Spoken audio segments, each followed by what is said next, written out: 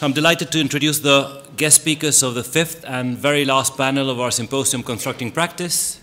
This panel, Normcore, brings together three practices that have seemingly accepted or embraced some of the long-standing rules of the game of architectural practice, and in turn have found opportunities and critical modes of operation precisely from within them. We are pleased to welcome our guest speakers, Stéphanie Bru and Alexandre Theriot from uh, Bruther, Paris, Julian Schubert and Elena Schütz from uh, Something Fantastic, Berlin, and Aaron Forrest and Yasmin Vobis from Ultramoderne, Providence, Rhode Island. Galia Solomonoff from GSAPP will moderate this very last uh, session. So we're ready to start. Stephanie and Alexandre. Yeah. Oh, okay.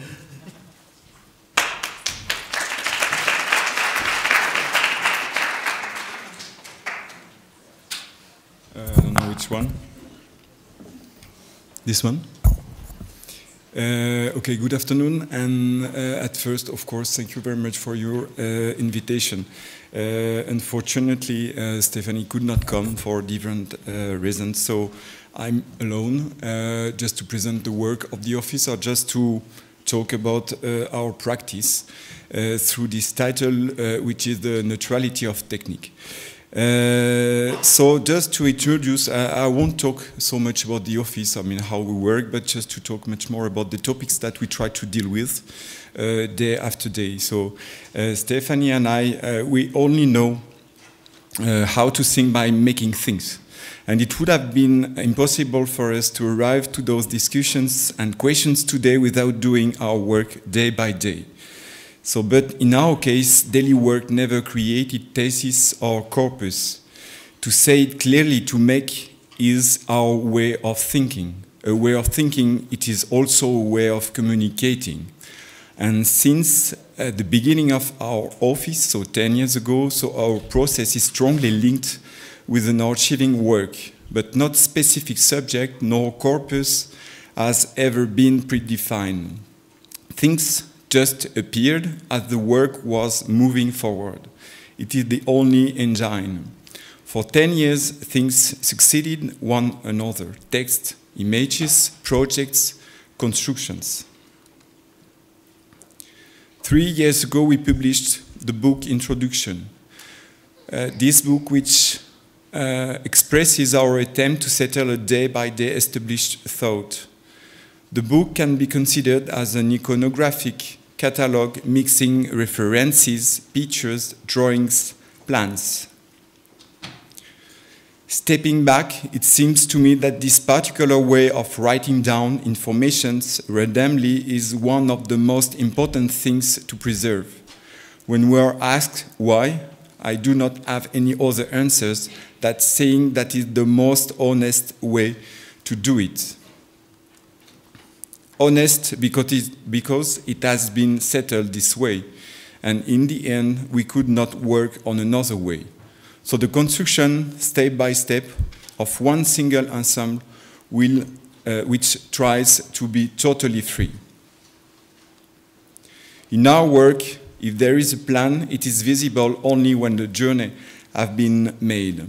The whole singularity of our practice is created by a linear jumble, because this is definitely a jumble. Questions never appear right away, they settle and mix during the work process. We are therefore trying to build a coherent work where projects hold onto each other looking for a common base. So this common base is to build usual object, useful, poetic, for a day-to-day -day use. So we found this image while working on the Berlin New Museum competition in Berlin. And this photo montage was made by Francesco Venezia. It places next to each other two iconic buildings, the Acropolis and the new gallery by Mies. So the real subject that simulates us is here, is not really a time nor a style question. It is more about the connection between architecture and program between support and supply. In fact, our architecture is thought about made, how it becomes architecture, how it overtakes its spatial condition and its rigidity in time, how it adapts itself in order to avoid obsolescence. This other picture does not talk about function nor program. Before anything, it defines some uses potential, a possible future. This picture illustrates a central question in our work, the question of malleability. How a building is able to absorb the evolution of uses. Beyond an extremely precise and defined program, the whole purpose is for us to organize a constructive and structural device. This device will be able to apprehend the reversibility of functions through time. In short, to give the buildings the possibility to progress and to offer to its users a form of liberty. For us, every project has to be considered as being part of an infinite chain. It started way before us and will be pursued later on with someone probably carrying other ideas or agenda. Oops. In that sense, architecture is directly linked with the other who completes it. It is an intended for someone. It is an intended art, so never finished as a suggestion. In a way, all those pictures do not inform us about a building as an architecture, but about its uses. The pictures you just showed before have been taken in the Sport and Cultural Center in Paris we completed about two years ago. This building expresses this ambitious to disconnect form and function and to create the conditions for a flexible and progressive building. The purpose is to create a use incubator, but also a new polarity in the city. Of course, it is obvious that we cannot predict the future, but we believe that our constructions must offer possibilities. And as architects, we have to imagine this world of possibilities. For us, to draw a structure is to conceive a malleability of uses. This malleability, it is the main question of exigence that we ask all of our buildings. In short, our buildings have to be strong enough to organize themselves until their own, until their own mutation.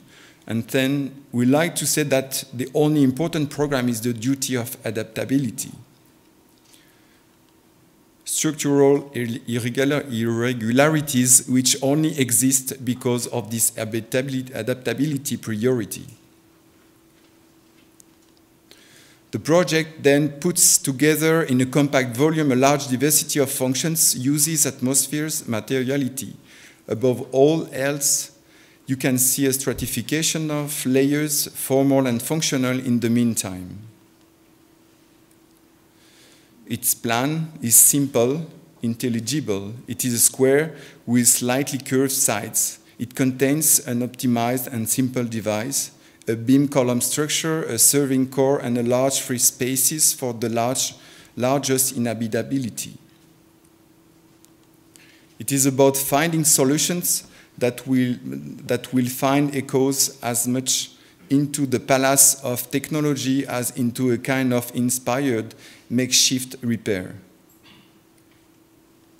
We are more interested in the question of gathering together, of joining things than in architecture.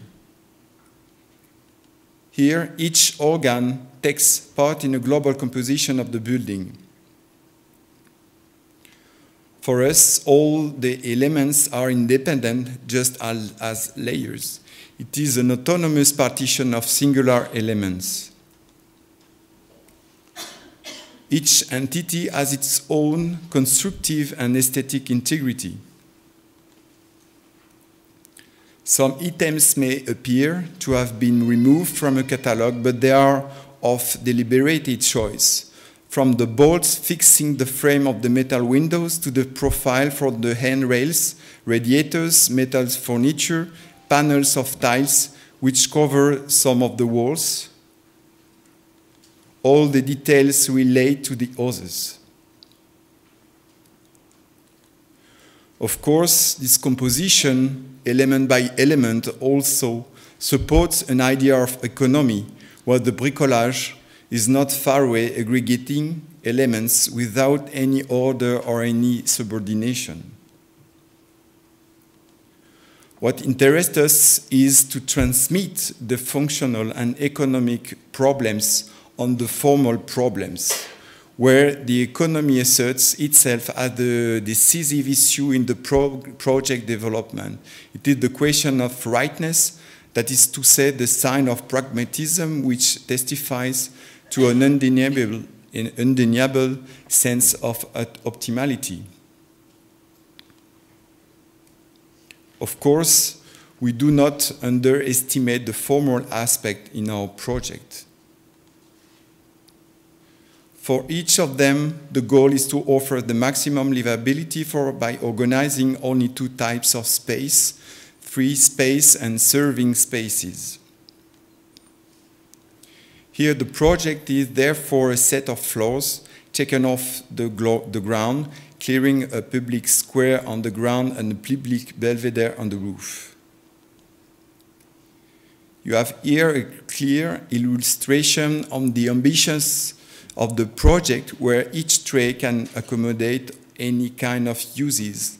Openable and divisible spaces are achieving sporting event living room. In short, a sort of scenography in white. The indeterminacy of those uh, trays should not be understood as an open flexibility that would represent a spatial laisser-aller. On the contrary, a generous framework maximizing spatial qualities, nature, productivity, recreation, to improve the collective, the unpredictable, a possible joie de vivre.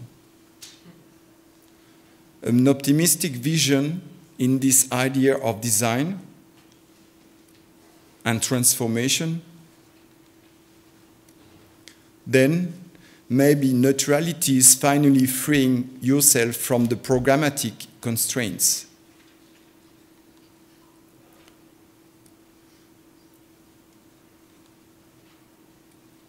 This is a picture of the facade prototype.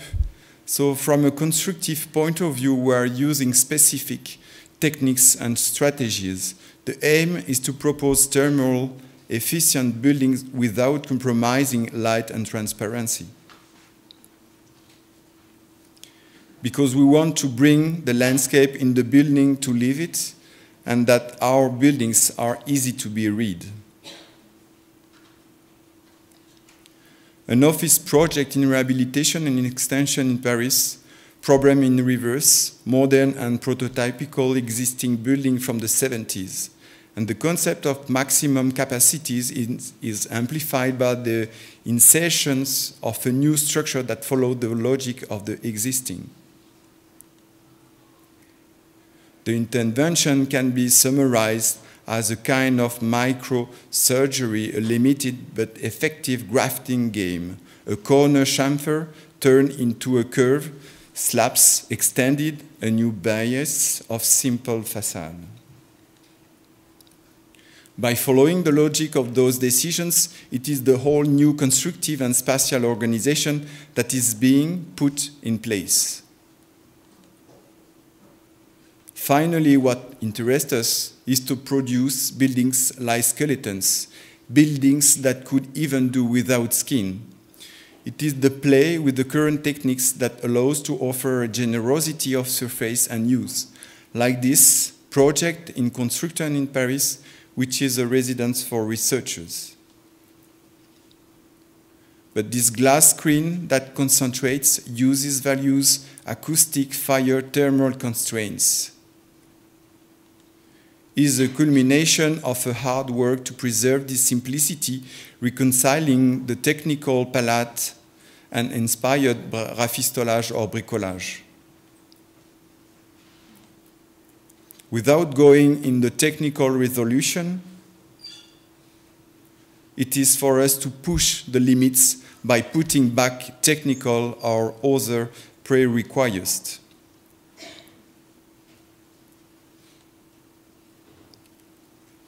We strive to work on simple and clearly defined forms.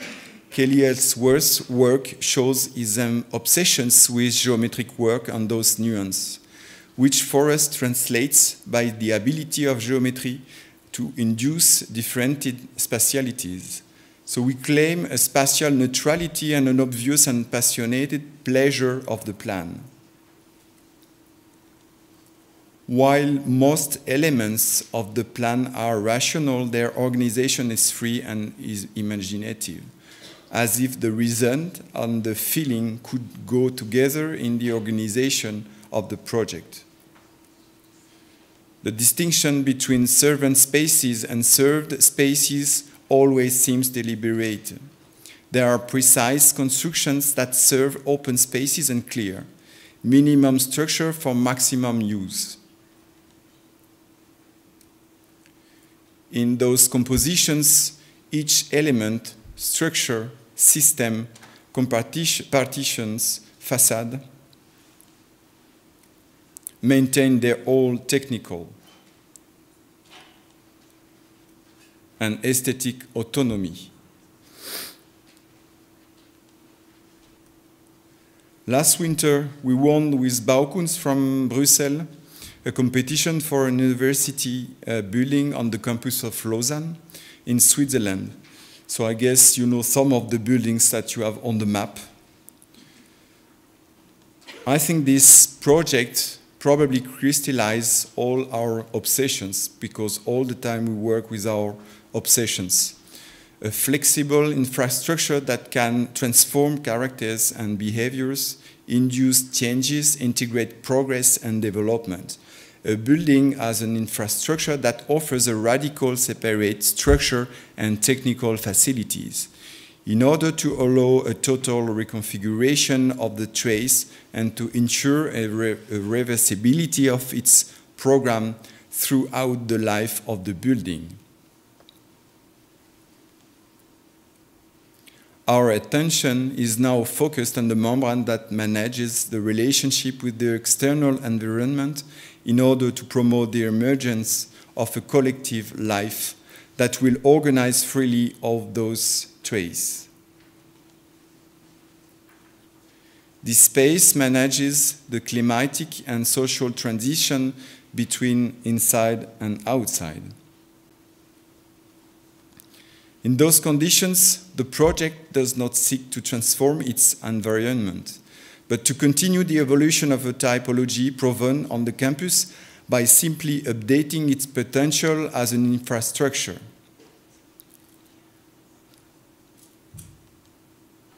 So as a conclusion, all those constructions have in common our desire to exacerbate contradictions, cultural, technical, and artistic contradictions, and to make something productive.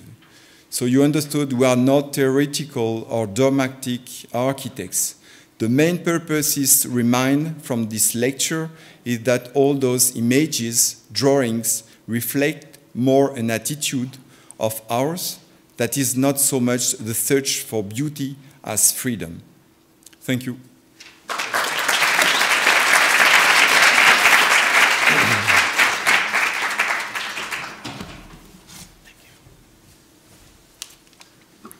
Julian Schubert and uh, Elena Schütz.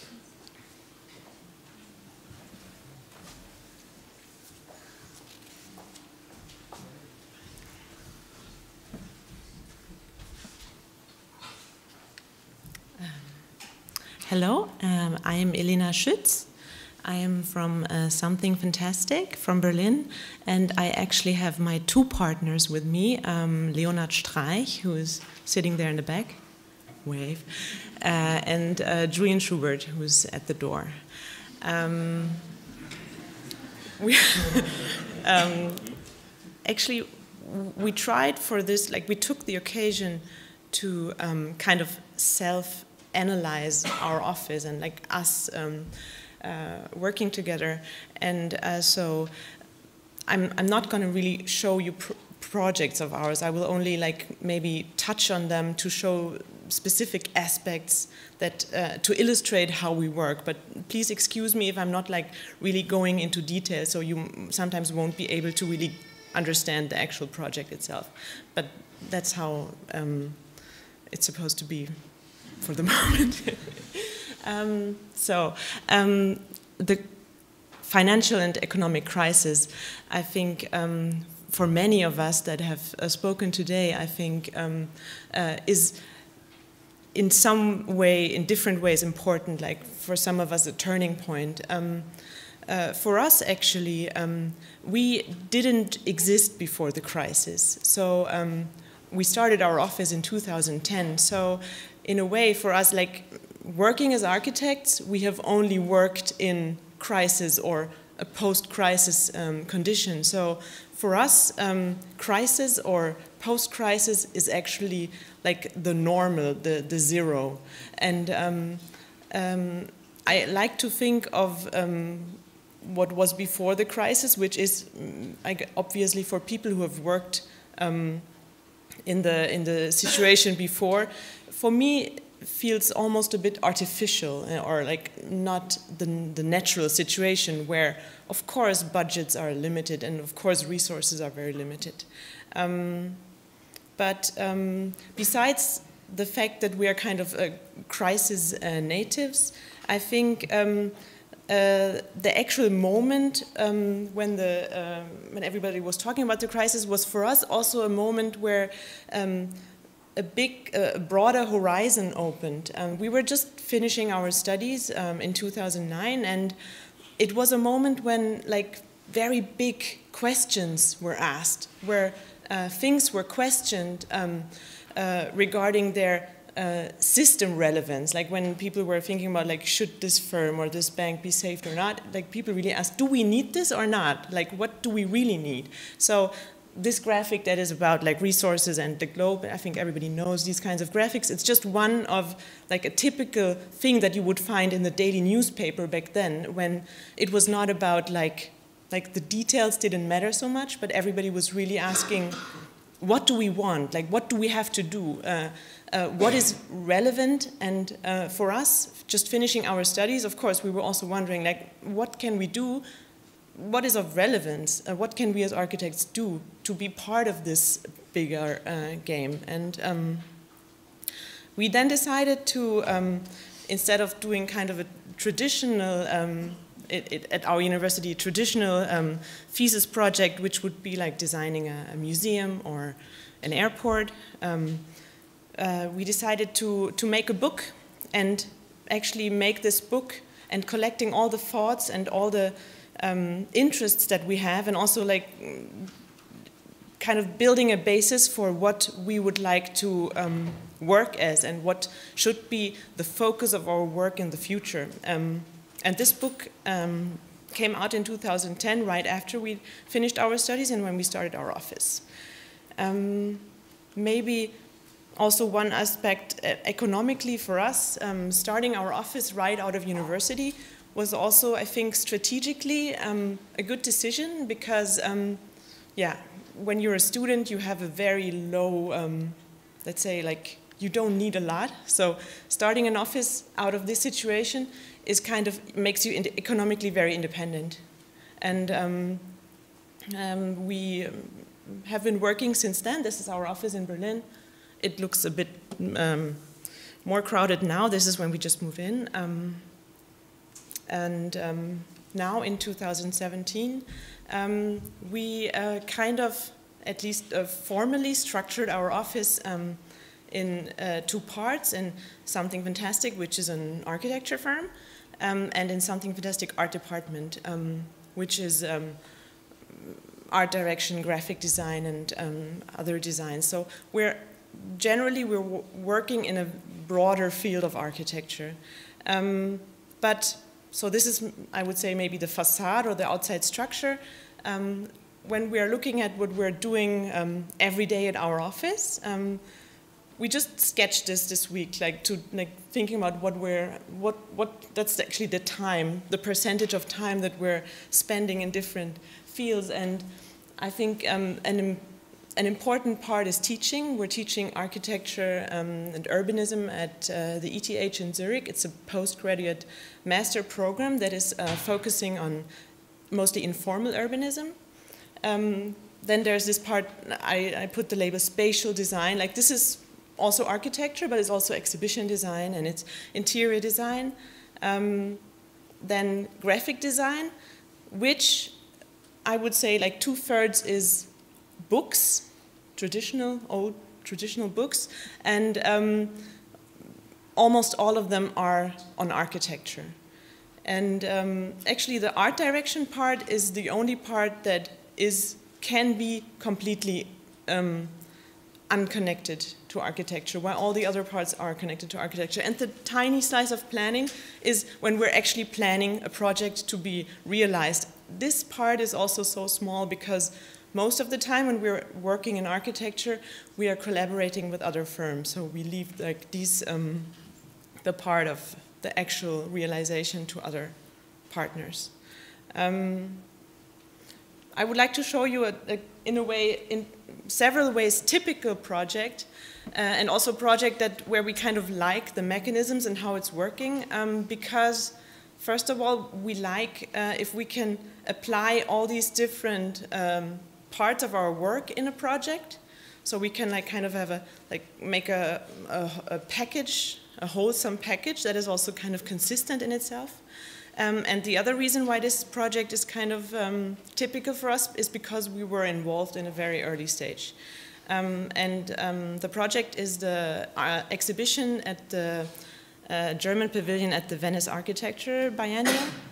And um, for this project, like we talked to the curator even before he decided to apply in the uh, competition that is then deciding who is curating and designing the, the exhibition. So we got together and talked about the, the topic, which is um, arrival cities. And just so you understand the context, arrival cities are uh, neighborhoods in cities um, that are mostly used by people who are, like by migrants or people who are arriving new in the city from other places, from the countryside. And uh, those neighborhoods have very specific qualities in helping those people kind of getting established in the new context. Um, and what we decided, um, so we were uh, responsible for the exhibition design, first of all, and we decided to display this kind of openness and this like lack of borders that uh, these arrival cities have by opening like opening the pavilion uh, to the outside and like adding additional entries and exits to uh, the pavilion to like actually uh, like architecturally change the um, pavilion. So um, we decided where the openings should be. We had like some struggle with the um, local municipality about uh, is it possible to change this building or not. Um, and then of course we did all the um, the 2D exhibition design. So we laid out the walls and we decided how, also how um, the content is going to be put on the wall. In this case, actually, we also printed all of the displays um, on our office printer in our office, and I also glued most of it uh, to the walls. We also designed the furniture uh, for the pavilion, or we chose the furniture in some cases. Um, put together the different uh, parts, or this is actually a, a, piece of furniture that we designed, which is a, a phone charging station, which is of course like inspired by um, arrival cities and these like yeah phone charging stations that exist in arrival cities. Um, then we also designed uh, the catalogs of the of the exhibition, and in those catalogs we also uh, designed the way that numbers and statistics and the information is going to be displayed. Um, and last but not least, we did the CI of the project and the invitations and the digital and the print um, uh, invitations and these kinds of things. We actually also designed uh, the party, um, the opening party. And this is, this of course gives us the chance uh, in a project like that to be, um, like, yeah, to, to make a very consistent body of, um, of work. And um, what is important for us that so in this project everything is connected to of course the topic of the exhibition what is not important for us is to create a specific style so we are not interested in um, creating a, a, formal style that you can then for example, recognize and say, "Oh, I think I know that this. This is most likely by Something Fantastic." I think this is this doesn't work. I, I don't think that this is possible, and um, it's also not wanted by us. Um, and I think this is because we like to always adjust to uh, the actual topic. And I think um, another thing that is um, also that is more important to us than formal uh, style is um, something that I now called um, overlying themes. I guess this is actually correctly you would call this um, underlying themes. Um, but I think they're so important to us that I call them overlying themes. Uh, and these are generally things that um, that are important to, yeah, let's say, really the three of us. It's things that uh, we discuss. It's um, uh, things that we um, believe in and that we have already believed in for years. They're sometimes changing a bit. They're sometimes adjusting a bit, but it's quite a stable set of um, of topics that we care about. And they're often like combined appearing in a project. Um, some one one more um, apparent and the other one maybe more in the background, but they're always there. Um, I make a, an example, maybe of a. It's it's one of the like simpler and easier to understand and less complex of them, but I thought it um, makes the point. So um, here you see three projects of ours. Um, the first one is a fashion show design. Uh, we were asked to um, design a fashion show, and um, uh, instead of like um, designing a setup and realizing a big uh, setup for the fashion show, putting the light, putting the music, um, putting the sound, uh, we looked in Berlin for just like suitable place that would have already all these features that we thought are uh, the right uh, features and are like just like suitable for the label. And we decided on uh, Neue Nationalgalerie, and of course because uh, this place is not for rent, never, um, and if it was, it's not affordable. Um, we decided to just stick to the house rules of the museum and mm, design the fashion show according to those rules. So we're not breaking the rules, so nobody can really um, have a problem with us making a fashion show. Uh, and this is um, so now comes the topic minimal means. So we are using, of course, like almost no material means to do the fashion show and also very uh, limited material means. Actually, after the show, we picked up some uh, uh, cigarettes that the guests had left, and two hours later, we were sitting back in our office and we're like, mm, yeah, did this just happen? Um, another example um, is um, a furniture um, series that we are, this is an ongoing project. Um, and it's, um, we're, we're developing furniture that can be realized with minimal means. Um, and this is not only um, that the, the, the, products that you use to build the furniture have to be available in a local uh, building store, but also in the case of that piece that I'm showing, which is a, a modular bar um, furniture, uh, you don't, uh, it's designed in a way that you do not have to make any cuts in the material because obviously cutting is complicated. So minimal means again. And the uh, third example I already told you earlier, um, it's the displays in the exhibition that are done um, with a a A3 printer. And um, they're not only done with an A3 printer, but they're also black and white prints. Um, and I think this also shows it's not, it's not minimal means doesn't mean little means. It just means as little as possible and of course as much as necessary. And I think everybody who has ever used an A3 printer knows that usually the color prints are not very satisfying, like they usually don't match and you, they're not like reliable.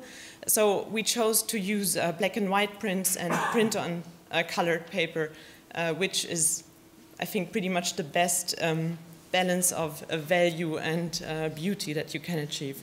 Again, uh, minimal means. And of course, like the bigger posters, they're just put together from multiple sheets. Um, this was already, already almost it. Um, so uh, now, then we were wondering, okay, what would we like to do in the future? This is the little uh, wish list. And um, we would like to stay diverse, meaning uh, we would like to not become experts. We would like to go on working in different parts of uh, the discipline. Um, ideally, we would also go um, a bit broader, and I think this is then connected also to the second uh, wish, which is staying free. We would like to be and stay independent from um, both um, economical, um, or I guess mostly uh, economical um, uh, limitations, and we feel um, that this is maybe partly also connected to um, staying small, meaning uh, that we do not want to be urged to um, uh, engage in certain projects just to keep a machine running that we have started. Um, we would like to become more professional.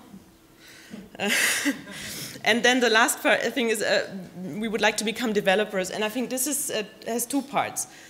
One, developers in the actual real estate architecture sense, because I think earlier there was also the question of like the architects, what do they have an agency? Um, I feel like, or we feel like architects are usually or often uh, asked to join when already a lot of decisions have been taken. So we would actually like to become, and we're also working on this to happen, we would like to become developers. And but actually the second meaning of this is maybe the more important one. We would like to become developers uh, in the sense that we would like to um, um, start things ourselves and actually ask people to work on projects with us. We are not doing competition, so in that way, I think that was also a question that came up earlier. We are not speculative in the way that we're doing um, competitions, but we would like to become more speculative in the way that we would like to start new things and um, engage in projects that we do not know yet if they are ever going to happen or if they're ever going to pay back. Thank you.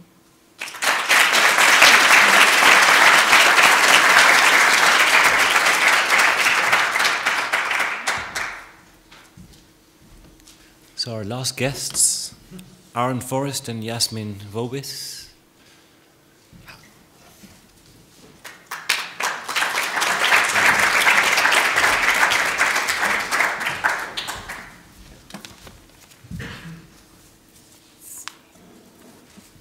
So hello. Let's see. Hello? No? All right, let's switch. Hello. Um, First of all, thank you, Enrique and Juan, for inviting us. It's been a really, really uh, fascinating and interesting day for us. Um, in part because we identify with a lot of the struggles and the themes that we've heard so far. Um, but I guess to jump right in, so we are Ultramoderne. Uh, we are a small practice based in Providence, Rhode Island, um, from where we teach at RISD, but also um, currently at the Cooper Union. And we focus on a range of projects, um, but most of which are public in nature. So I think in a talk like this, it's quite tempting to try to explain the practice through a set of kind of final published images of projects. Um, but I think that, you know, not only are these images kind of uh, easily available on the internet, and so therefore at this point not terribly unique, um, they, do, uh, they actually don't do much to explain the various turning points in our work together over the last several years. So for this talk, um, we have put together a series of alternate images uh, that represent inflection points in our practice. Some of them are going to be process images. Others are images by others that we find ourselves returning to over and over again in the course of our work. Um, we find these images important in large part because practice is in its nature contingent upon external events. But in the course of rushing around to meet deadlines, uh, certain themes have emerged in the work and um, uh, around which we have started to build something perhaps a little less reactive, uh, more coherent, and seemingly premeditated. Um, in that sense, you could say that the following images over the course of several years have constructed us as much as we have constructed the practice. Lila took my microphone. So um, yeah, so uh, the images are grouped um, kind of by theme or by these these words, and they aren't necessarily uh, chronological, um, and they they are um, reflective. So it's not like we came up with this list of words when we started the practice and just said that's what we're going to do. But the um, the first one, which is really uh, quite important for us, is the word structure. Both of us worked at uh, different times for the structural engineer uh, Guy Nordenson, and as a result, uh, became quite interested in the way that structure can be understood as a kind of uh, proto-architecture, the kind of bare necessity for uh, creating a framework within the actions of various kinds can play out. And uh, working, the other really important thing for us about working uh, with Guy is that it showed us the power of a kind of more impersonal approach to uh, the creative process, one in which the um, design is valued for what it enables rather than a signature style. And um, importantly, this isn't a, an approach that devalues aesthetics, it just kind of reformulates the terms on which beauty is judged. Um, but the, the word has a second meaning referring to order or organization or social structure. And we've come to see these two definitions of structure as in constant dialogue with each other, uh, creating a kind of uh, productive friction between what is built and what's possible in every project. And looking back, this interest in the relationship between material order and social order informs even our first built project project, which was a cross-laminated timber pavilion built in Boston in 2014, uh, uh, which uh, is probably the least normcore of our projects. It's this moment when we were still kind of working with geometry as something that was present in the practice more so than recently. So, actually, I'm going to go back. I think that that project um, kind of clarified a lot of things for us. Um, and I think one of the things that it helped us understand was that this kind of complex geometry ended up really kind of strongly prescribing the social interactions that could take place. And so in subsequent projects, we've really kind of tried to uh, focus more on action rather than on form. Um, so we at some point started looking back at this set of images that we actually made when we were in school together in grad school. Um, seems like a long time ago now. But uh, so what they were is that um, there was this webcam installed um, at Bryant Park, and we figured out that we could start collecting images off of that webcam every 10 minutes. And so we started um, making these kind of digital averages of the space, right? So this is, um, we would take a full day or we would take a week. Um, in this case, it's a kind of full year long exposure of the park. And I think what was, what's intriguing in looking back at this work is that um, you really start to kind of see human uh, and architectural activity kind of blurring together. Um, we started to see the kind of material and the social as kind of co-equal um, elements playing off of rather than interfering with each other. Um, the image also kind of makes us think of architecture as a kind of framework for actions, you know, not as a kind of spectacle itself, but as a way to embrace multiple time scales and multiple publics. And looking at the city in this way, we started to understand uh, the necessity and perhaps also the pleasure of embracing these kinds of generic and generous frameworks for open-ended actions. And so we thought of this kind of overlay of activities in our uh, subsequent projects, often with drawings like these, uh, that kind of project potential inhabitations and where activities and furniture are just as present and as solid as the kind of traditional architecture which itself is kind of reduced down to a lightweight spatial framework.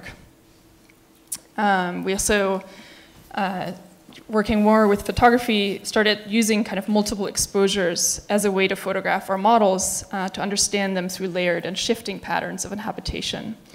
And so thinking of the architecture as a kind of simple framework um, was crucial to make a kind of large scalar shift a viable proposition, like in this project, um, where the kind of simplicity of the approach um, really allowed for a kind of uh, maximum generosity. Um, and this is a good example of a, of a term that, um, that is definitely retrospective and isn't even our own. Um, we, uh, we were interviewed a, a, little over a year ago by an intern uh, uh, at the uh, Architectural League, and she said, oh, I think your project has a lot to do with boundaries. And we were like, yeah, that's, that sounds good. so, um, um, so it, it, it, it did become important that this kind of interest in action and habitation and social organization structure have some kind of material consequence. And so this actually led at, at first kind of unwittingly and then later more, um, more uh, kind of intentionally into this multi-year series of investigations into different types of boundaries. Um, and this photograph of the rooftop of Alejandro de la Sota's uh, Maravillas Gymnasium has always kind of spoken to us about the power of a simple boundary to differentiate between inside and out. Um, the chain link fence here speaks to this kind of veiling of the playground from the adjacent city, which then sets up a space of separation for these new forms of uh, play to unfold. And the space itself uh, is just this kind of bare concrete slab, and it's the boundary that actually makes the, the actions possible. Um, and we were, we were, as a side note, we were introduced to the work of De La Sota by some uh, uh, Spanish studio professors we had in grad school. Uh, for myself, uh, Iñaki Abalos, and for Yasmin, uh, Luis Mansilla, and Emilio Tuñon.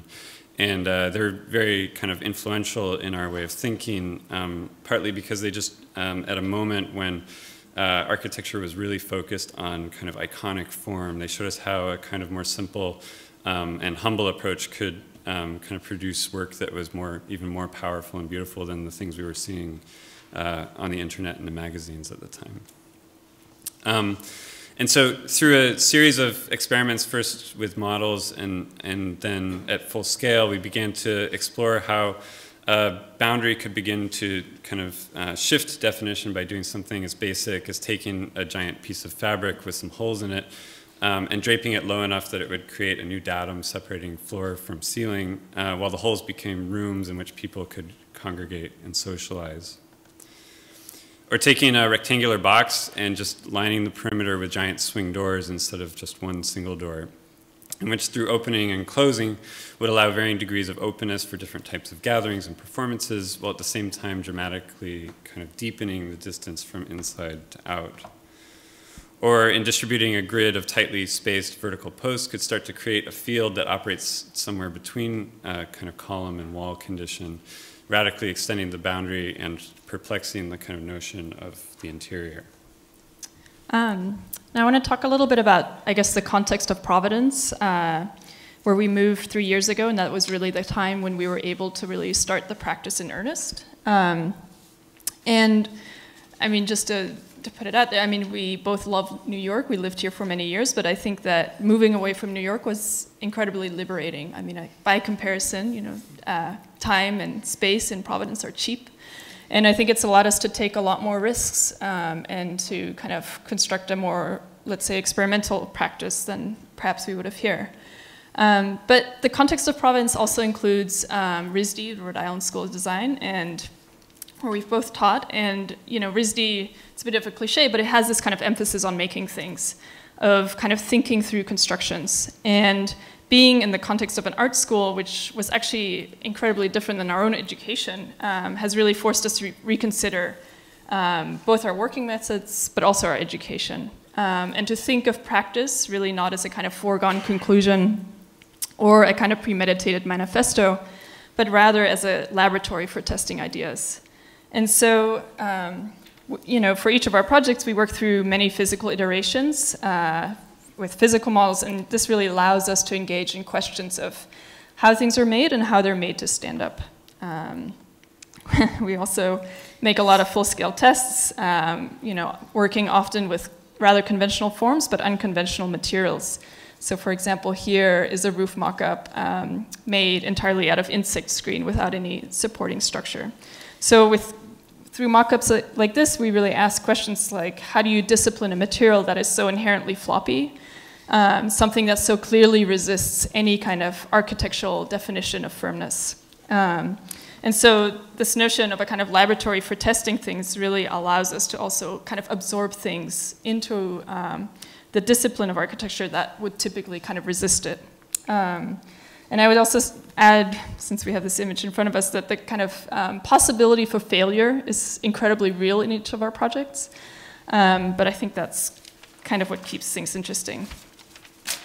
Um, and so often we also think about how the kind of construction process is part of the architectural idea, and I think this in part comes from, I think, working with Guy Nordenson. So um, where we, we kind of think very directly about these kind of very pragmatic um, issues. And in that sense, the kind of aesthetic of our projects is tied to questions of construction and kind of um, questions of production. And um, we often think about these existing processes as a starting point, you know, whether it's the lifting motion of a crane uh, or the maximum dimensions of mass timber that can be kind of trucked to a site. Um, and then how one could also reorganize these givens into kind of alternate and cohesive realities. Um, that is all to say, I think that we kind of we kind of believe that without construction there is no architecture, and that the exchange of ideas and practices with labor and craft um, are kind of fundamental to our discipline. And so, um, while the previous images start to um, construct an idea of what our interests are and how we got here, one thing that's really kind of fundamental in each project is that within the kind of apparent simplicity, they're able to accommodate uh, kind of varying levels of, of contradiction. And in contrast with a kind of orthodox minimalism, I'd say that they're rooted uh, more in friction rather than effortless resolution. And these images that we're sharing are important partly because they're able to at once embody those frictions and to clarify them. Um, that is, they become productive as instigators for architectural uh, thought. So the idea that a simple pairing of a technological concept, a very large flat roof made out of wood suspended by 13 point supports, can be combined with a simple idea of leisure, a couple resting on a picnic blanket, uh, an image lifted from an Eames film. Um, to push a project beyond the symbolic and turn it into a kind of typological challenge. That's ultimately the question that we keep returning to, which is how to take a few seemingly simple, innocuous ingredients and combine them in a way that begins to allow for complexity. So looking back at the project grid, um, but with the kind of critical process images uh, substitute for the, the final images, um, you can, these images are in some ways kind of functioning for us as diagrammatic agendas for each project. So each one can be understood as a combination of some kind, squaring material conditions against uh, the conceptual, the technological, and the social. And for this, th us, this is an approach that uh, values this kind of simultaneity of the architectural project and shouldn't necessarily be understood as a paring down or removal of, as, of architecture as much as an opening up in an effort to respond to the complexities of everyday life. Thank you. Thank you. Hello, everyone. I'm, I'm Galia. It's so good to meet everyone. First, uh, thank you, uh, Enrique and Juan, for putting such a uh, great group um, together today. It's been, um, as a non-young practitioner, uh, it's fantastic. Uh, it's ultra modern uh, to have a group of people that have so much um, to, to offer. Uh, I, I will start by saying that um, if this same intention, this same idea of a panel was attempted uh, 20 years ago, um, I feel that it, the group would have been very different and uh, one of the characteristics that I uh, think your presentations have in, is that um, none of you are defensive. You present your work in a very ma matter of fact, you know, this is what I do, and it's, it's a more self-assured way that what I remember people presenting uh, years ago. Um, I also feel like there is a uh, commonalities, common themes uh, maybe people travel more, maybe people teach more, maybe people go to biennials more. But I, my first question to you is, um, when you see today, the trajectory of today, and you compare that with the trajectory, you know, with a similar group of practitioners being presented to you in lectures when you were students, um, as a group, do you see any um, any coincidences or departures that are significant to you?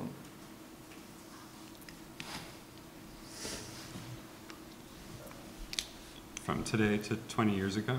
Or, or when, when you were a student. School, yeah. yeah, 20 years ago. Yeah, 20 years ago. It's too long. Yeah. um, that's, a, that's a great question. I mean, I think uh, there, there are some commonalities and there are some, some major differences. Uh, one of the commonalities, I think, is the interest in trying to do something out in the world. I think that um, when we were in, uh, in, in school, you know, between basically 2000 and 2008. Would you um, mind saying where was that? yeah, Princeton Yeah. University, yeah. Um, the, um, uh, I think that uh, architecture at that moment was, uh, was in a recovery of a different kind in the sense that uh, the, the um, academia had become so focused on issues of um, theory uh, absent practice that there was a whole new generation, um, many, many of whom are here today actually, um, who were saying, no, we actually have to make things out in the world. And I think that was a big, uh, certainly an inspiration to us as students that we were interested in, in, in that version of, um, of what was happening in the academy uh, rather than the one that maybe preceded it 10 years earlier. Yeah. Um, that said, I think that there, uh, you know, every every architectural moment seems to be a kind of reaction to a previous moment, and at that moment, the reaction to to kind of um, that that uh, relentless focus on theory was to just make a lot of architecture, and to really kind of emphasize the the design and the designer's role in making incredible things. Um, and I think uh, for us, um, we wanted to kind of take a step back from that and think, how can architecture, um, especially you know if we're if we're not working, uh, you know we're just starting out, we have very small things available to us in terms of projects. How can we do have a kind of maximum impact with the kind of minimal set of things that, that we do have at hand? Um, Elena, when you talk, you, you talk about, you know, you had the, I, the word theory in the background almost in throughout the presentation. uh, and, and, uh, and it was in the context of work theory, work theory, work theory. Um, what, do- what do you, would you say, uh, has that, um, would that word um, enlarged in importance over the years in your, uh, in your eyes? Or would, would, would would the emphasis in practice at a certain point require that you become more pragmatic and less theoretical as a firm? So I think um, our office uh, touching theory is mostly in uh, our teaching, like the part where we do like research and display our research. And um, a second part is um, that we work actually a lot on displaying ideas and theories, often not ourselves but other people's. Um, so I don't even know if, in an academic context, what I consider theory would be accepted as theory Yeah. because it's something quite um, alive. Sorry. Yeah. Um, yeah, but if if we define theory as everything that is not practical making, um, I think um, it is something very directly connected, something that has always been parallel in our uh, work. Yeah. Um, Alexander, you, you show that image of Ellsworth Kelly and then your plan immediately after. And, and so one of the things that um, you also mentioned, uh, I think everyone had the word beauty at some point mentioned in your presentations. And, um, and so I, I was wondering uh, on, uh, and you ended your presentation saying that you were in search for beauty uh, and freedom, like you, you wanted to preserve beauty and freedom. Um, Not beauty, only freedom. Not beauty, only freedom. not beauty, No. only freedom. Mhm. So uh, that's okay. So from my misunderstanding of um, uh, of your statement, let's make that into a question. Uh, I, you know, I, all, I, as a practitioner today, I, many times I have the choice whether to do something beautiful or something new. And to me, doing something beautiful, it's, uh, it's important. It's, it's kind of like a motivation. Mm-hmm. Uh, and freedom is a second, it's not so important. So for you, freedom, it's a, Uh, yeah, sure. it- it's, yeah. it- it's, a, it's I mean, that's the main. I mean, I mean, it depends about the the, the topic or uh, the relationship between what and what, and uh, Mhm. just uh, the freedom is at first in the way to practice. I think it's really important, and that's I think that's what we are looking for, all of us. I mean, that's what is so interesting in our different uh, practices. Uh, just to find your own way. I mean, uh, whatever the it's going on in because our uh, three countries, I mean, the context are really different. I think that's absolutely.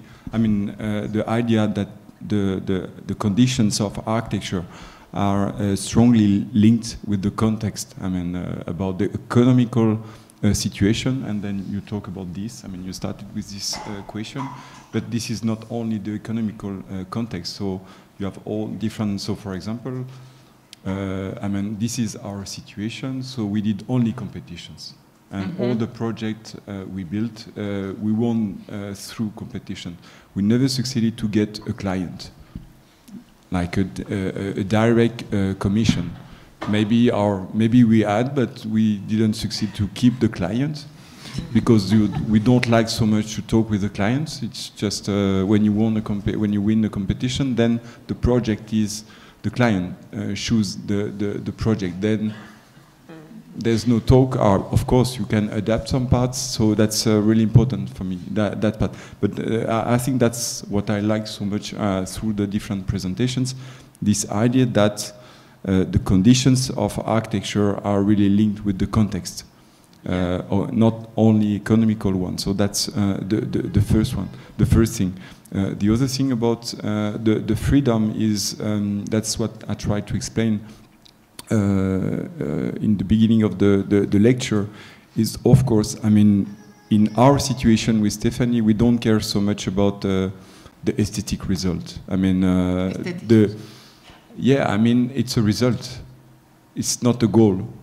I mean, if it's if we succeed, of course you have a form and then you have a result and then you have a, an aesthetic approach. Uh, but this is not the target for us. I mean, uh, the way to develop the project, we try to uh, keep a certain distance with aesthetic, not, not to say, yeah, I like this, or I'd like to put the window uh, a little bit more on the left or a little bit more on the right. That's absolutely not a topic, and we try to protect ourselves from that kind of preoccupations because this is not uh, really objective uh, elements.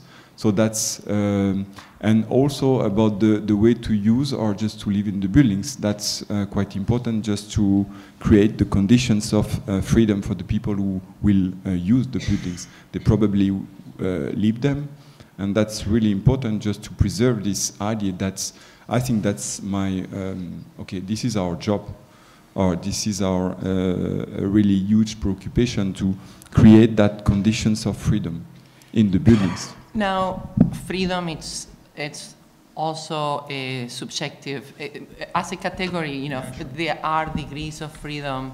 And so maybe we can discuss that uh, uh, also, for example, competitions, getting your work through competitions in France, where um, there is a wealth of competitions, it's different than getting your work through competitions in the United States, where there are much less competitions.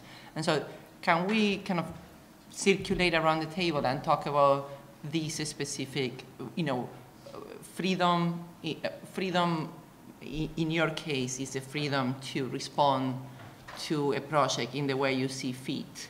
Um, but, uh, um, and, and you also, uh, uh, Elena, talked about freedom in the context of the Venice Pa- Pavi- Pavilion and, and, and kind of the premise for that project. And in this, the future of the office as being developers and not being uh, the people that come at the end of the process, but becoming, um, in ch- being in charge of describing the, the process from the beginning. Um, so can, can you, Elena, explain, or either of you, what uh, freedom in the context of your work uh, is. Um, maybe I say something shortly and then. so, this is maybe also connected to your first question when you asked, like, how did how was it? Were, did architecture practices function like 20 years ago and now? I think, in a way, there is not really a default way of architecture practice.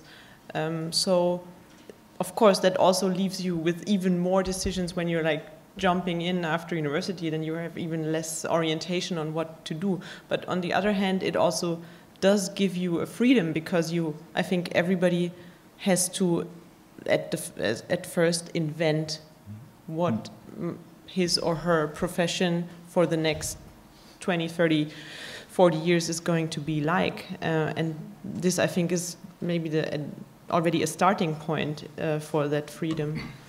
Um, and maybe, mm, do you want to say something a bit more practical? Or? Um, Sorry. no, maybe not practical. I don't know if you if you already uh, mentioned it in the presentation, but I think for us the um, this freedom in an also in an economic. I mean, we have the feeling that practicing architecture, at least in Germany, is a very uh, economically a very precarious Yes. thing to do. Um, so for us, the freedom means uh, to to exactly to be diverse, to have a diverse set of things. So whenever we um, we work on a project, we could you know we could lose this client and all the clients that know that client because also we do other things. And and I think that for architectural firms that is difficult. And once you have this background of um, or you have a, an office in the background that you have to feed with projects, it's difficult to stay free. You know, It- that's our feeling from our context, from from the people we talk to, and from I mean, practicing architecture in Germany also seems to you actually deal more with lawyers than with construction site, like with the construction industry, and um, so. I agree. It's very different in different Yeah. contexts, and and so. But whatever the country is, it's a fight. I mean, uh, I mean to preserve this freedom. I mean to decide what you want to do. I mean, uh, what you said about the, the the students, I think it's also something which is quite important. I mean, because at the end, all I mean, what is so important is just to decide the way that you want to build. I mean.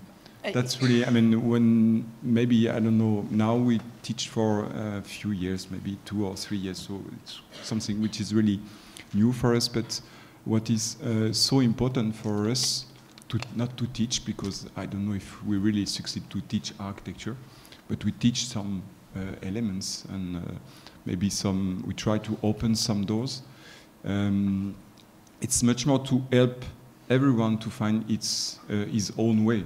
I mean, uh, his own uh, obsessions, his own uh, preoccupations, and that's what is so important in uh, teaching, whatever the matter is. But And it's interesting that you're talking about teaching and practicing, going back to Aaron's point of how uh, it's different now than 10 years ago or 15 years ago in Princeton. Just to back up a bit, you know, the people that taught me, you know, 20 something years ago, uh, had a, a very strict separation between practice and theory.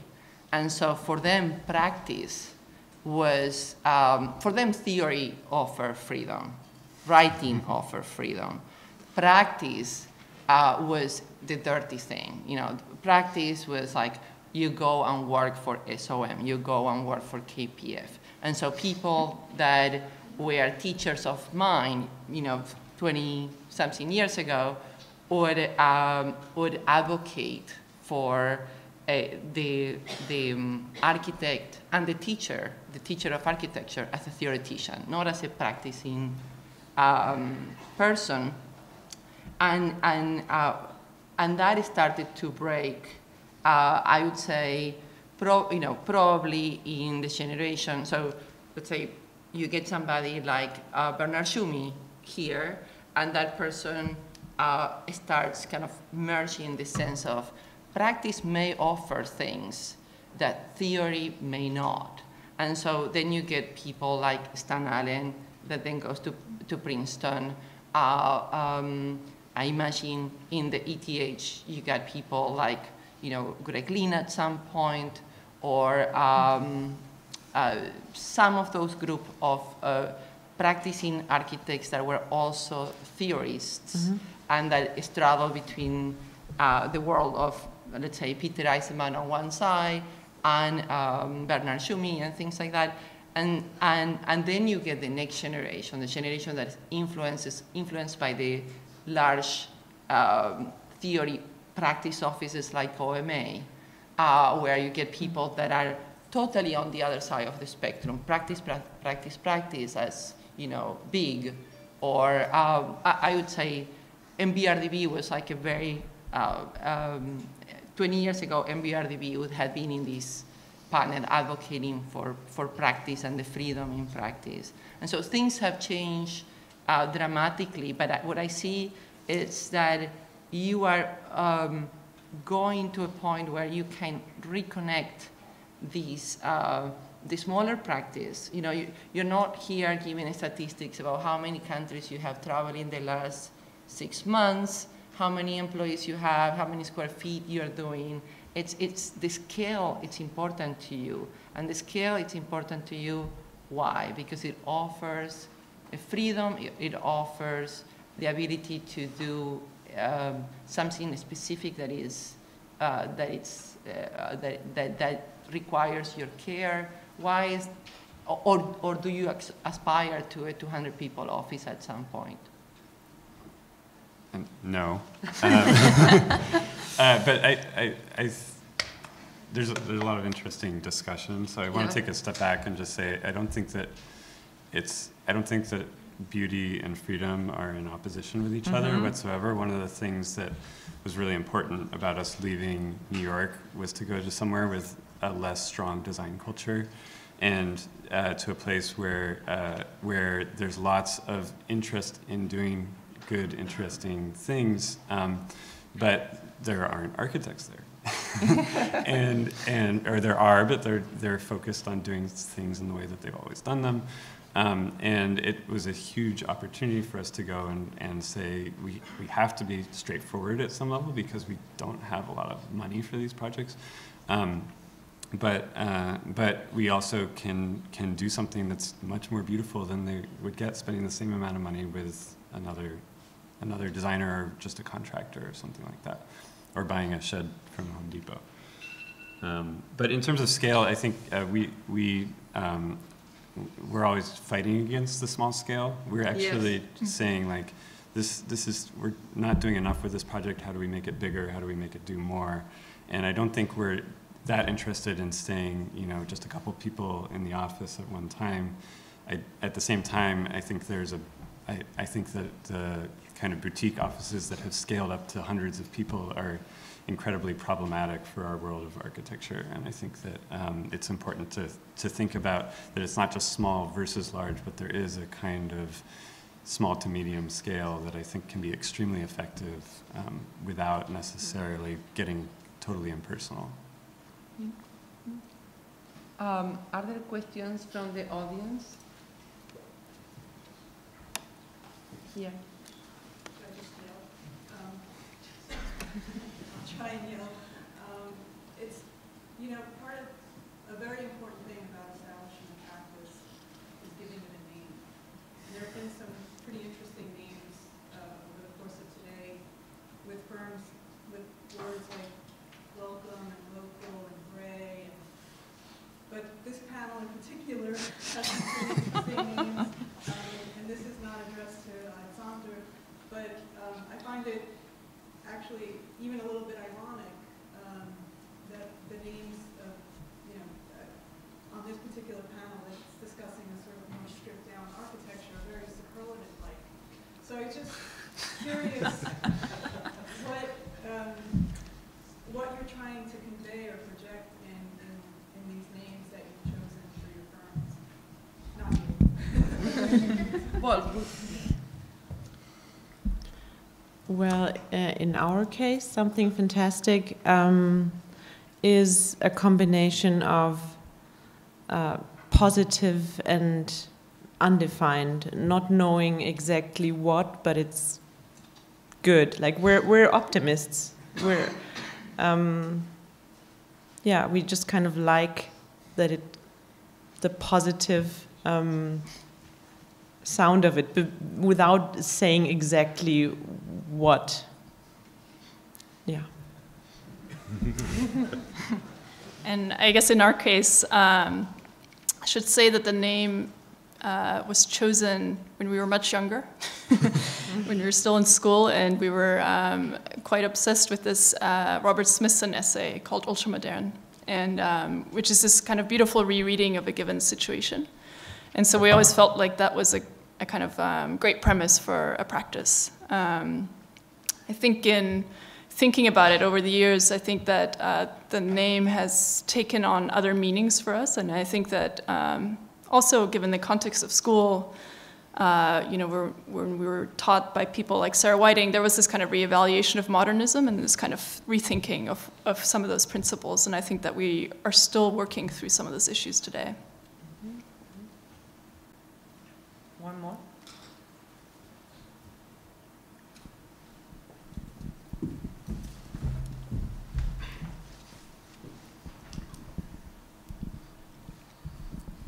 Hey, uh, thank you.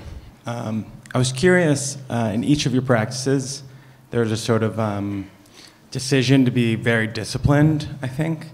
Um, with Bruther, I think that window conversation was pretty clear about being disciplined, like not making, giving yourself the ability to not make a decision, basically. And I think Ultramoderne, um, similarly, there's like this really restrained, stripped down, um, do as most as possible with the least.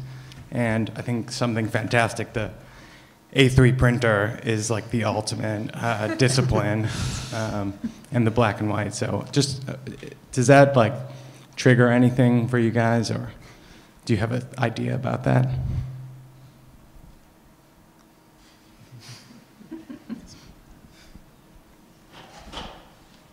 I mean, do you know? Do you mean dis disciplined, like, really? Yeah.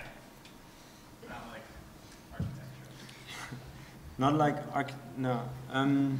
No, I don't know. I, th- I think uh, the guy, the um, the gentleman from uh, local office earlier said that he liked to work smart, not hard, and that, that sounds really good. I can't say that we work that smart, but um, uh, there is always this moment when you're designing something and you feel like you're just working too hard or trying to trying to figure out something that's just too difficult, and it turns out there's another answer that's much more straightforward and does everything that you want it to, in a way that the more difficult answer couldn't. And that's something that we um, that we try to keep in mind, and it usually we only figure it out like the night before deadline usually, but it's but it is a kind of important thing as, as a for us as a, as a practice. Alexander, Maybe, maybe I want to add something because I first misunderstood a bit. I thought it's like about the discipline of architecture, and I think that is something that maybe coming back to the uh, topic of our panel, the norm core. Um, and I think norm core is a is a term that I mean it doesn't it actually doesn't mean normal core, but norm according to the norms. And I think our discipline sometimes has the problem that it is that whenever we build something new, and we here in this room discussing at the Columbia University, we do something that that that becomes or or tries to become part of a piece of architecture, no? And then it also, to, to many people, I'm afraid, it looks like ah a piece of architecture, which is for them totally different to a house or a building. And I think that's something that, that at least bothers us, where we think we, we should, maybe we have to practice differently in order to, to not just contribute pieces of architecture to the discipline of architecture, but to actually contribute to the city with a lot of houses. Or, you know what I'm, I mean, I think this is, this is maybe just a sort of conclusion, but a comment to, to this norm core uh, question and actually doubting that we are norm core or we are trying to fit into uh, um, this kind of Yeah. disciplinary body of work. Uh, I think it's really important what you said. I mean, just because uh, I mean it was just the starting point, or maybe the topic of this conversation. And I think about uh, aesthetic. I mean, there was something which was uh, written in the, the the the summary. I mean, in the booklet. And I think that's really important. I mean, just uh, the posture or uh, what is the attitude in front of a certain context. I mean, we just react and try to find a way. Um, I mean, so I'm not sure I, I, I exactly uh, understand your question, but about the discipline or uh, but whatever. I, I, think that's really important, just to to focus uh, on this idea. I mean, just about norm core. I mean, that's really important, just to maybe to uh, watch each, each uh, practice uh, through this lens. lens. Yeah, yeah, that's really important. I mean, that's just what is. I mean, the idea just to do the present, the, the, the, the three presentations is uh, the, the idea on the backside is this one. So it's, uh, and I think it's a really good uh, lens.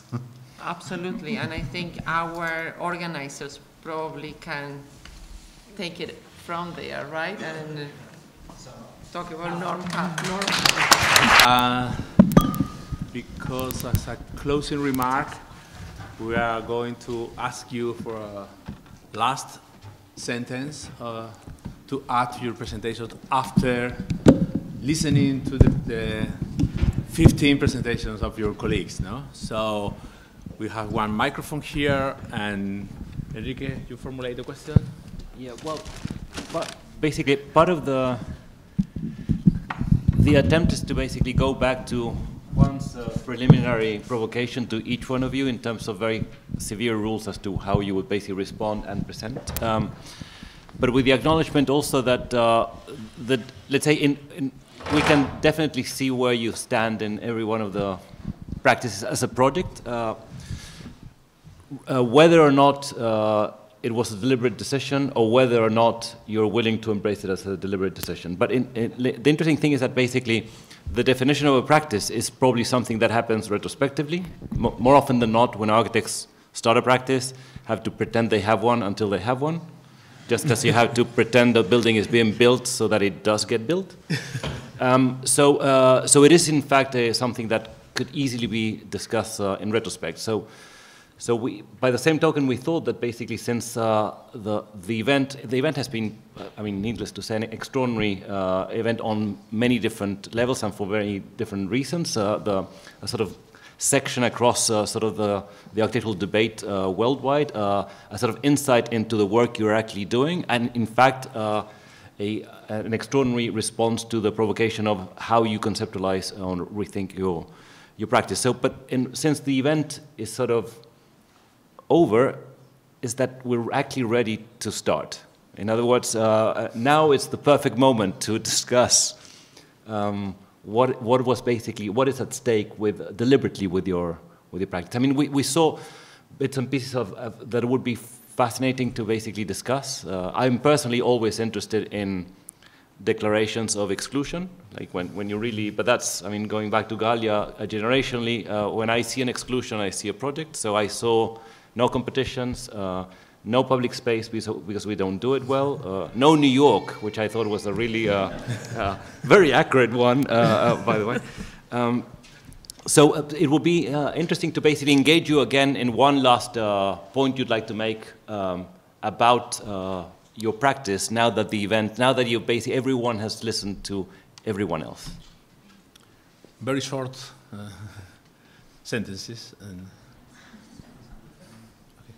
do they have a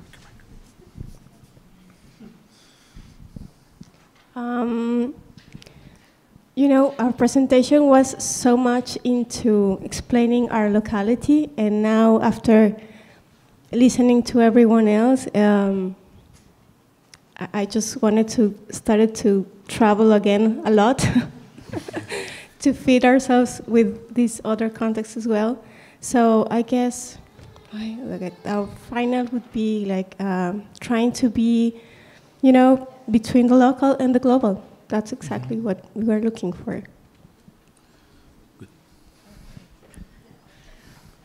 Uh, you know, in the in the time sort of leading up to participating in the in today, um, I was uh, sort of very uh, self-focused on what on earth my practice actually, you know, is. Um, and what has been super sort of inspiring about today, sitting, you know, with all of you, is just the kind of diversity and openness of what architectural practice can be today. Um, and so I think that, that's really what I would like to, to leave on. I think for us it's been uh, largely unintentional, but the one thing I think we have focused on uh, with a bit of foresight was to try and create a network of uh, people who share our values, whether they're in New York, whether they're in Mumbai, artisans, craftsmen, technicians, engineers, that as and when, you know, to the question of scalability, as and when an opportunity comes along, that it's a phone call, a Skype message, a, you know, an airline ticket, whatever it is that you can call on and draw on those resources as a way to defer having to make a decision about how you want to practice. Um, I I would say I, I really enjoyed the diversity um, and and uh, if we if we have something in common, maybe uh, it is also the fact that not talking about your own projects and only talking 15 minutes, we all have some difficulties with. Um, um, but I think the, the I mean the contexts are are so diverse that also the practices are diverse. So I would love to learn more actually about the contexts. Mm -hmm. um, uh, uh, I'll just say it was really wonderful. To, I agree with everyone saying that seeing the diversity of practices is great. And uh, I think we were uh, all uh, maybe, or speaking only for myself, kind of intimidated by the prompt, which means it was probably a good one in in, in that sense. Um, and uh, so so I think we all thought very seriously about what is it that we do and what's important. But I think that one thing that I took away from seeing all of these diverse practices was that it seems like everyone really enjoys what they do, and I think that's a very important thing about practice is that it's extraordinarily enjoyable despite some of the kind of um, difficult parts. And uh, I think that's something that we try to try to kind of think about in every project. Is it is it going to be fun? And I think it's a kind of simple thing about practice.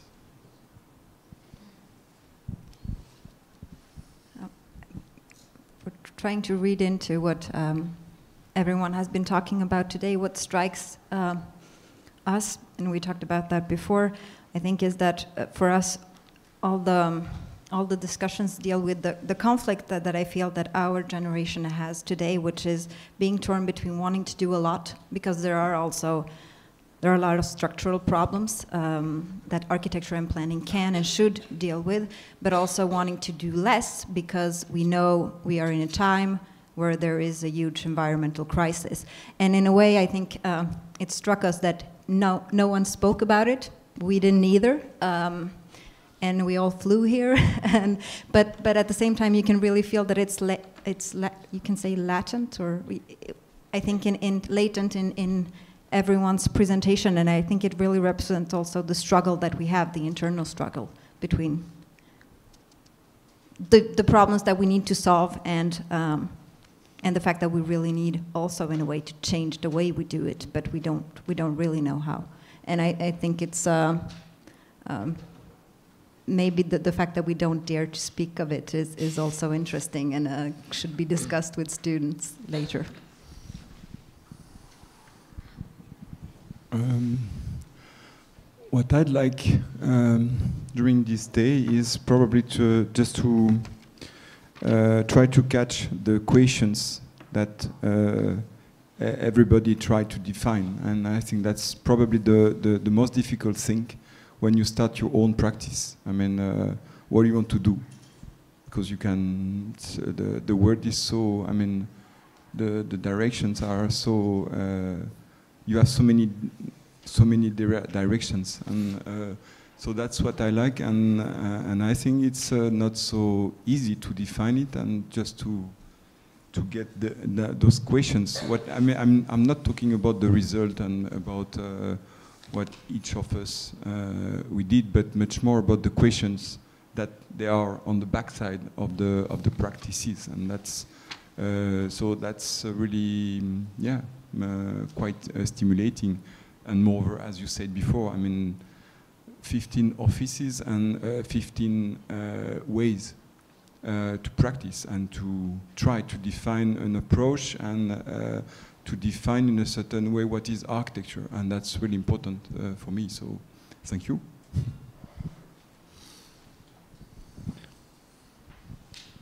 Um, yeah, so.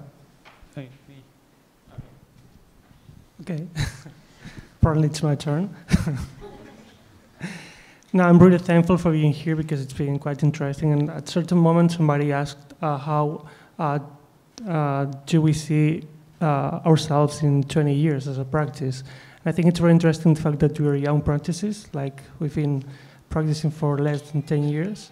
So since this question appeared, I, I just can't stop thinking of myself or my practice or even your practices and wonder how these practices will be in like four years or maybe there's another constructing practice for people with more than 50 years in the practice. So that would be nice to be there to see it. Um, I have I have to say that um, for me it's been a very surprising and um, kind of um, yeah, surprising experience, totally unexpected. I felt that with every presentation there were like mirrors coming up every now and then.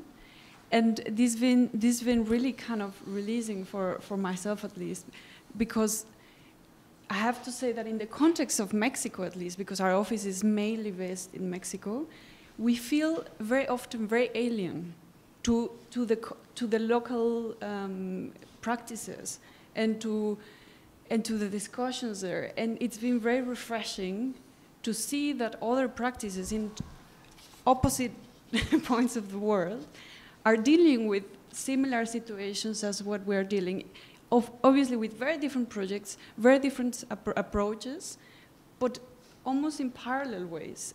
I mean, it's a very strange feeling. I don't know if, if, if, if you share this, Christoph, but um, yeah, this is my my opinion. Okay. No more? We have. Uh, yeah, yeah. yeah. Okay. Can I talk? okay. Okay. Um, yeah. So what I was going to say, I think um, it. I, I, arrived a few days early from Joburg and uh, walked around New York for a couple of days, and I kind of in the, in, at the end of that, I was like, what the, seeing everything that's going on here, what, what, the hell could I possibly contribute to this, to this, conversa- to this conversation? What could I say that would be new or interesting? And then arriving here, unfortunately, being uh, quite late in the day, uh, realizing how, you know, similar, and, and I'm going to trust you when you, uh, you, when you guys say that these are the 15, you know, it was a short list of, of 160 practices, and this is the, the cross section, but it's, it's amazing how similar the themes are, and uh, I feel encouraged. Um, yeah, and I think it's uh, coming from Joburg as well. It's easy easy to bullshit. I mean, you, none, most, none of you have been there, so I could be, talk, could be lying. so I purposely tried to be honest, and, uh, and I'm, I'm, happy I did, and yeah, yeah. We appreciate that. Thank you. um, I'm just going to say that we usually work.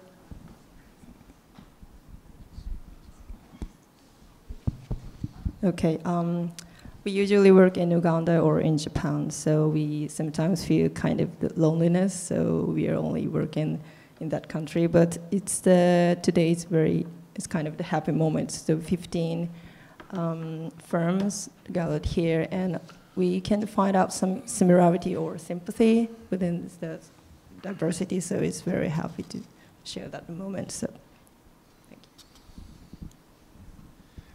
you. Um, well, I'm still di digesting this intense day of looking at different practices and contexts. I think it was really amazing what happened.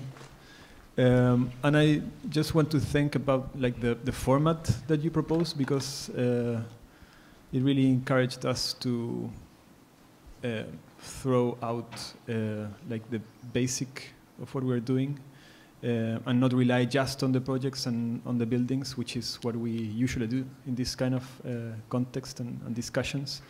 Um, and that's a, yeah, it's uh, threatening in a way to start talking about ideas um, um, in, in a much more specific way than just uh, through photos or floor plans, which is the normal.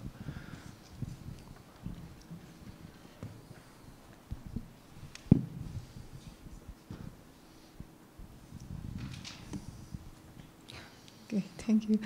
Uh, well, not much to say. Um, it, uh, it, was a great journey, and uh, I thought that uh, we learned a, a, lot.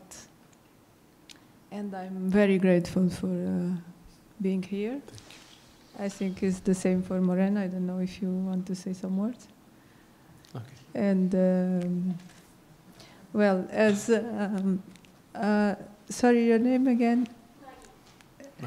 She said uh, the, this feeling of uh, travel, and uh, so I think this is a, a, a great thing that uh, for me too, and uh, go to see these things that we saw here today. Okay, good. Um, I I have a similar comment about um, how grateful I feel because in China also we feel quite quite isolated as uh, uh, architects uh, from the rest of the world, even though um, you know the the country is closely very closely related in, in many other ways.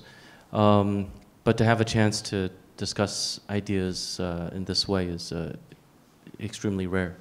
Um, so this this has been fantastic. Um, also, I think there's this uh, notion of the global and the local. Uh, I, I just also find it very encouraging that I, I share so many of the values of, uh, of the work that I've seen, um, even though uh, I, I, do feel a lot of distance from uh, uh, a lot of these places of practice. Um, but one, one other thing I want to mention is I, I feel like um, there's uh, uh, really true um, authenticity, I think, to a lot of the work uh, that was shown. And um, I think one thing I've realized recently is that uh, architects really aren't risk takers in, in, in so many ways. And uh, what I saw today, I think, was um, really risky, risky stuff. Um, and uh, I, I, think that's something that's worth thinking about. Really, what are the risks that we are taking? Because I think in order to develop our practices, there are a lot of barriers. Uh, I mean, I, I, mentioned a lot of those, some of those barriers. Uh, but I think we do have the, I, I, think from today I feel very encouraged that, uh, um, that uh, you know, th those are things that we can deal with, but it requires a sort of rethinking of the, the way we practice. Um, but also with us, you know, start a, a, practice that is not very old, um, it, it, it's hard to have that confidence. Um, and this, this gives me confidence. okay. Um, first of all, I think um, to us, I think it's uh, such a great opportunity to revisit New York after 10 years. Actually, uh, last time I was here 10 years ago. And um, I think a lot of things that already changed, but I think in a good way. Um, secondly, uh, uh, I think because we also uh, haven't traveled abroad since I, we have these young kids for um, three years already. So there is a lot of dialogue and talks within inside Ch China, but the topics are dif completely different from today. So I think uh, we are really enjoying the uh, mental exercise to me today and showing such a diverse uh, scenery, I mean, all over the world for the young practice. I think it's a, such a good thing. The final thing is, I think after today, we should go back to our office and really seriously start to learn about crisis in a positive way. Thank you. I don't usually do this, but can we take a portrait of everyone in front of the screen?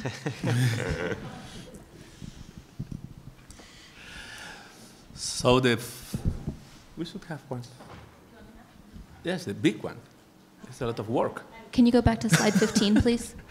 Because we have a diagram with a mix of all the practices presented here today and the moderator. So, but the, anyway, the last um, remark is an expression of uh, gratitude to all of you for accepting the rules of this difficult game to create your own work and, and tell uh, the story in 15 minutes. Um the conclusion is that be sure that these things are not happening to you because you are young.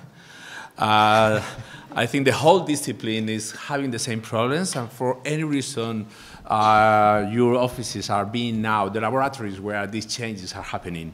And so I think the, also the people here in the, in the room who have uh, old practices have learned a lot and have recognized themselves in, in, in, in, your discourse. So uh, it's wonderful that this has happened. Uh, it's uh, fantastic that the concerns of architects all around the world continue being the same, more or less, uh, independent of uh, countries, contexts, uh, technological uh, situations, or, or, or universities, pedagogies, etc. And thank you for these 15 different English accents. And and for bringing, I think the vocabulary of the session will be fixed in, in, in, in, the, in the notes that all we have in our papers. So that's it. Uh, here you have all of you uh, and your moderators. Uh, and I think the density of the, of the different biographies uh, are quite similar and it demonstrates that there is an invisible uh, and a latent network of uh, less than 10 years established offices redefining the practice around the world, and that is, no, we celebrate absolutely that. Thank you very much.